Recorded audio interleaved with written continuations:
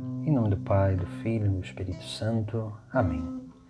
Hoje meditaremos sobre o título de Nossa Senhora, onde a invocamos como Consoladora dos Aflitos.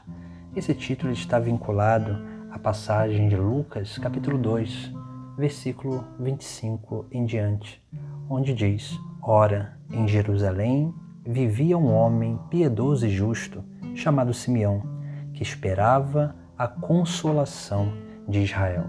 Aqui nós vemos como que Maria é essa que consola aquele que aflito estava, querendo ver e contemplar a libertação de Israel.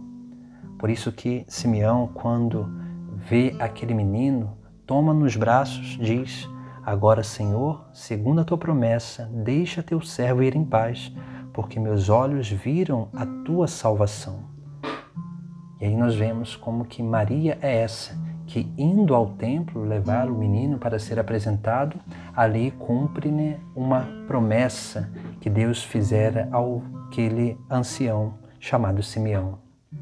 Maria é essa consoladora dos aflitos. Ela que traz no momento certo o entendimento, no momento certo a presença, sua presença que vai realmente nos dando essa capacidade de entender tudo aquilo que está acontecendo na nossa vida, é ela que vem nos auxiliar né, como essa consoladora das nossas aflições, que o caminho que nós estamos seguindo, ele pode ser mudado na medida em que nós desejamos que ele seja, na medida em que nós colaboramos com a graça, na, na medida em que nós queremos. Porque quando a gente quer e busca perseverar, nós vemos essa graça de Deus acontecer na nossa vida. Por isso que ela é essa consoladora das nossas aflições, porque assim como ela consolou Simeão, que estava ali naquele seu ambiente com a esperança messiânica,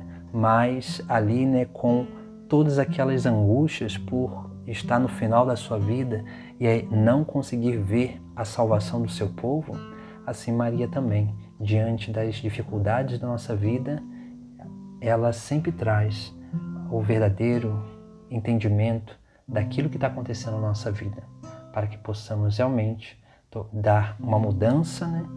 e realmente colocar-nos novamente no verdadeiro caminho de salvação, que é o seu Filho, Jesus Cristo.